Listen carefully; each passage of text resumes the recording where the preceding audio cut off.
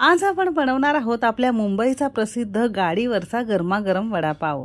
असा वडापाव तुम्ही एकदा नक्की करून पहा. खूप साध्या आणि सोप्या पद्धतीत स्टेप बाय स्टेप आणि भरपूर टिप्ससह रेसिपी मी तुमच्यासोबत शेअर केलेली आहे. जरी तुम्ही बॅचलर असाल किंवा पहिल्यांदा वडापाव बनवायला घेत असाल तर न चुकता कमी तेलकट मस्त खुसखुशीत परफेक्ट वडापाव तुम्हाला तयार करता येईल. सोबतच मुंबईला वडापाव बरोबर दिली जाणारी सुकी लाल चटणी सुद्धा शेअर केलेली आहे बरं का? वड्यांच्याच पिठापासून तुम्हाला ही चटणी बघायला मिळणार आहे. म्हणजे अगदी परफेक्ट रेसिपी आहे शेवटपर्यंत नक्की पहा. तुमच्यापैकी बऱ्याच जणांना वडे तेलामध्ये सोडताना हाताला चटका लागण्याची किंवा हाताला पोळण्याची भीती वाटते. मग अशा वेळेस वडे तेलामध्ये सोडण्याची एक नवीन पद्धत मी तुमच्यासोबत शेअर केलेली आहे. म्हणून रेसिपी अगदी शेवटपर्यंत नक्की पहा.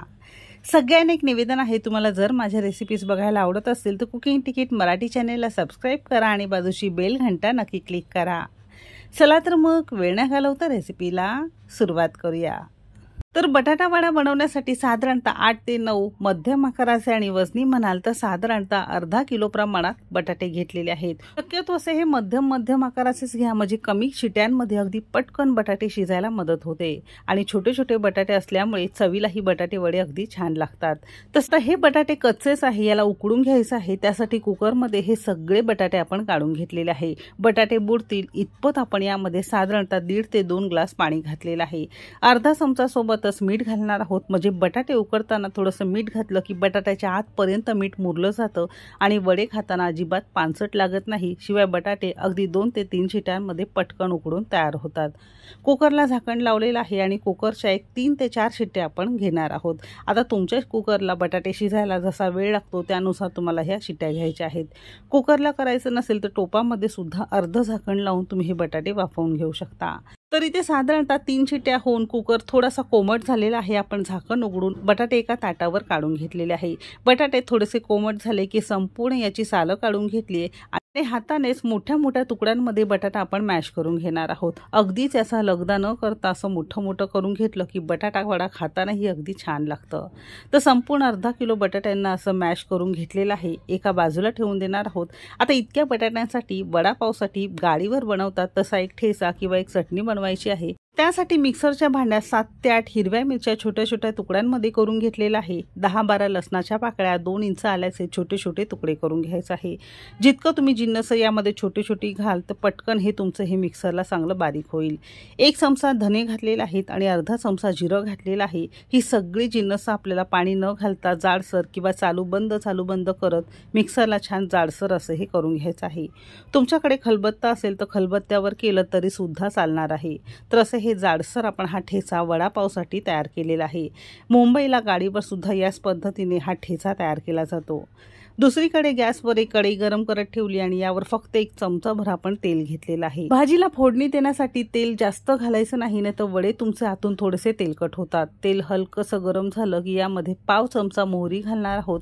मोहरी छान फुलली की पाच सहा कढीपत्त्याची पानं घालणार आहोत आणि अगदी मंद आसेवर एक मिनिटभर थोडंसं आपण परतून घेणार आहोत. छान लालसर रंगावर झालं की अगदी चिमूटभर आपण यामध्ये हिंग घेतलेला आहे कारण बटाटा वापरल्या म्हणून हिंग जरूर घालायचं आहे हिंग न करपता पटकन आपण यावर हा तयार ठेचा किंवा चटणी जी बनवलेली होती ती घातलेली आहे. आता याला खूप जास्त परतायचं नाही. फक्त एक दहा ते वीस सेकंदच आपण हे परतून घेणार आहोत कारण हा ठेचा खूप जास्त परतला जात नाही हलकासा हे फोडणी पात्रामध्ये परतला जातं. असं थोडंसं छान झालं की यामध्ये अगदी चिमूटभर किंवा अगदी पाव चमचा यामध्ये आपण हळद घालणार आहोत. या भाजीला हळद खूप जास्त घातली जात नाही त्याने वडे तुमचे आतून थोडेसे कडवट होऊ शकतात. हळद जर चमचाने घालत असाल तर अगदी पाव चमचा घाला हाताने घालत असाल तर दोन चिमूट तुम्हाला इथे हळद घालायची आहे त्यापेक्षा जास्त घालायची नाही. काही सेकंद अगदी मंद असेवर हळद आपण मस्त परतून घेतलेली आहे. बघू शकता रंगही छान आलेला आहे. मस्त सगळ्या घरात सुगंध मस्त ठेच्याच्या पसरलेला आहे. आता या स्टेजला मॅश करून घेतलेला बटाटा घातलेला आहे. चवीपुरतं मीठ घातलेलं आहे. तुम्ही तुमच्या चवीनुसार यामध्ये मीठ घालू शकता. आता ही सगळी चिन्नस मस्त एकजू करून घ्यायचे. मसाले सगळे बटाट्यामध्ये छान एकजू झाले पाहिजे. तुम्ही भाजीचा रंग सुद्धा बघू शकता. हलक्याशा पिवळ्या रंगावर भाजी आपली ही तयार झाली पाहिजे. थोडीशी टेस्ट वगैरे करा मीठ वगैरे काही कमी वाटत असेल तर थोडंसं मीठ तुम्ही वरून घालू शकता. असं छान एकच जीव किंवा सहा छान गोळा झाला की गॅस आपल्याला बंद करायचा आहे. कारण ही भाजी शिजवली जात नाही ज्याला जास्त पाणी सुटू शकतं किंवा ही थोडीशी तेलकट होऊ शकते. सगळ्या शेवटी आपण इथे थोडीशी बारीक चिरलेली कोथिंबीर घालणार आहोत आणि छान एकजू करून घेणार आहोत. आता ही कढई गॅसच्या खाली काढून घेतलेली आहे. थोडीशी भाजी आपल्याला कोमट करून घ्यायचं आहे. कोमट झाल्यानंतर आवश्यकतेनुसार किंवा आवडीनुसार असे आपण गोळे करून घेणार आहोत. आता इथे आपण एक मोठ्या लिंबाच्या आकारा एवढे छोटे छोटे गोळे करून घेणार आहोत. हवं असेल तर गोळे असे हे गोल गोल करू शकता किंवा हातावर असं घेऊन थोडंसं चपटं करू शकता. म्हणजे वडा दिसायला थोडासा मोठा दिसतो. तुम्हाला जसा आवडेल ज्या पद्धतीने आवडेल तसा तुम्ही हे करू शकता. तर असे हे सारख्याच पद्धतीने उरलेले सगळे वडे आपण करून घेणार आहोत. आता अर्धा किलो बटाट्यांपासून साधारणतः एक तेरा ते चौदा किंवा लहान करत असाल तर पंधरा ते सोळा मध्यम आकाराचे वडे तुमचे तयार होतील. तर असे हे संपूर्ण वडे आपण तयार केलेले आहे. आपण मध्यम आकाराचे असे हे चौदा वडे आपले तयार झालेले आहे. बघितलं अर्धा किलो बटाट्यापासून अगदी सगळ्या कुटुंबासाठी पोटभर वडापाव तुम्ही घरामध्ये तयार करू शकता. म्हणजे कशाला विकत वडापाव खाण्याची अजिबात गरज लागत नाही. अर्धा किलो बटाट्यांच्या वड्यांसाठी इथे साधारणतः एक दीड कप आणि वजनी म्हणाल तर साधारणतः दोनशे ग्राम प्रमाणात बेसन पीठ आपण इथे घेतलेलं आहे. बेसन पीठ किंवा तुम्ही याला चना डाळीचं पीठ सुद्धा म्हणू शकता.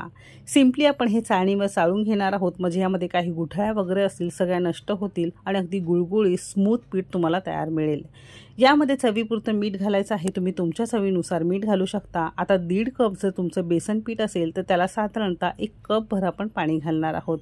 पाणी घालताना लागेल तसं थोडं थोडंच घालायचं आहे किंवा अंदाज घेत तुम्हाला हे पाणी घालायचं आहे.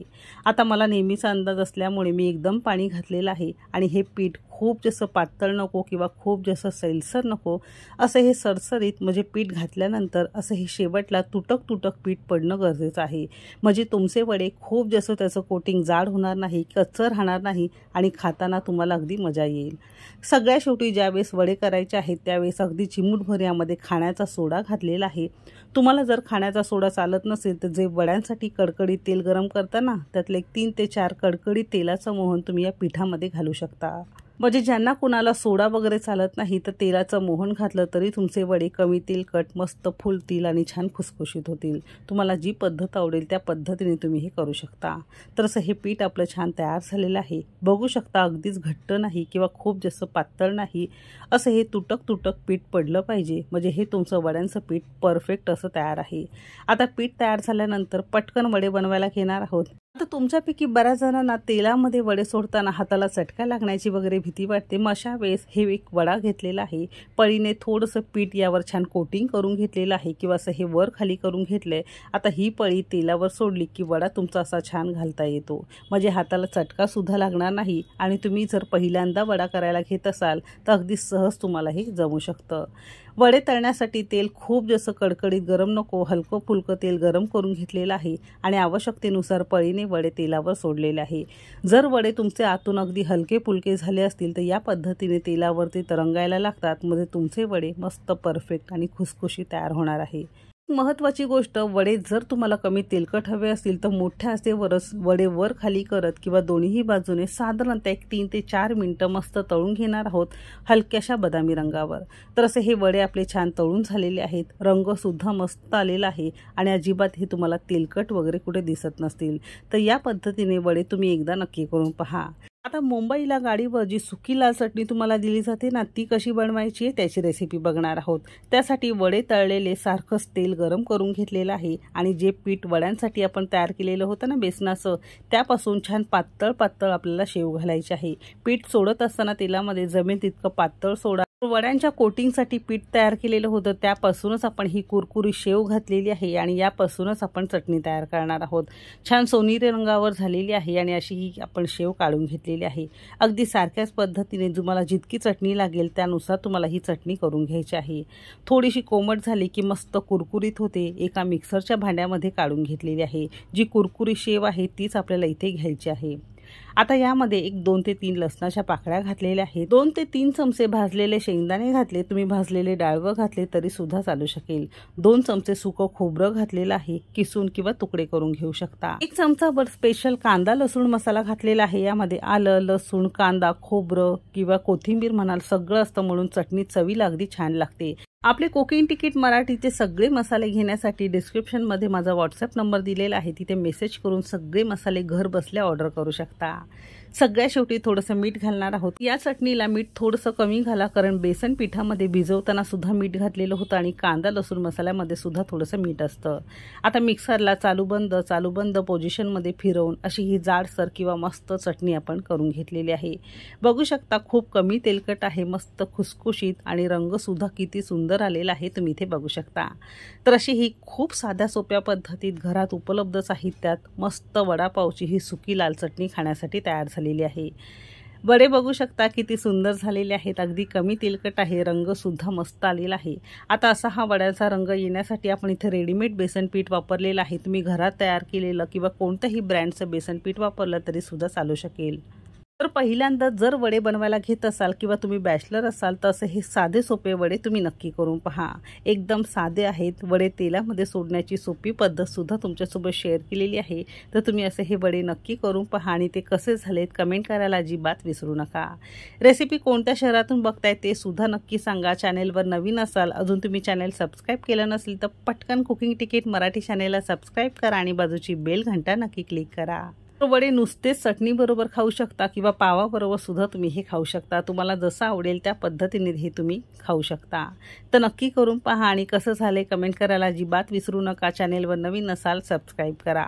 चला तर मग भेटू एक मस्त आणि जबरदस्त रेसिपीसोबत तोपर्यंत मस्त खा आणि स्वस्त राहा.